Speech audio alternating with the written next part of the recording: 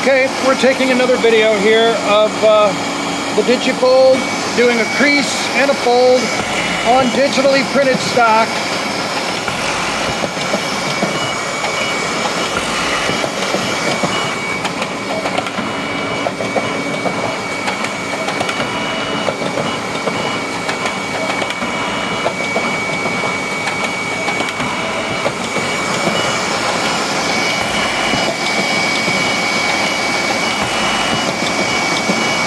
Shut the feet off now.